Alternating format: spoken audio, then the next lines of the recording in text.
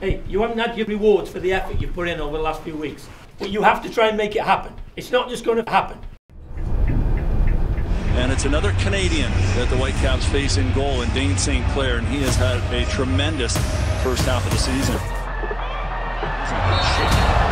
Sets up Taylor for the cross. In it comes on the one touch, they've equalized. Come here, Lawrence. Minnesota's Russell Teibert slipped and it's on goal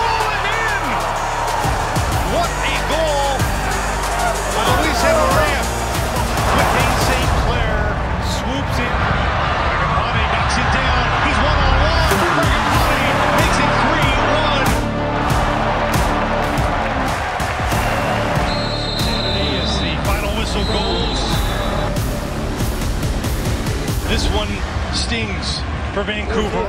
Vamos, vamos!